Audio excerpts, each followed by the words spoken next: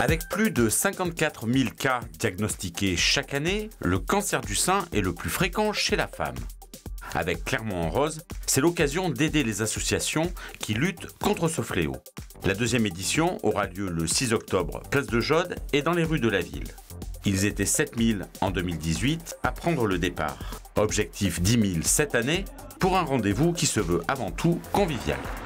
La course chronométrée, euh, elle est exclusivement féminine. En revanche, la course à l'ure libre, on souhaite qu'elle soit ouverte à toute la famille, euh, les messieurs, les enfants, euh, parce qu'ils sont concernés aussi quand la femme est touchée dans la famille.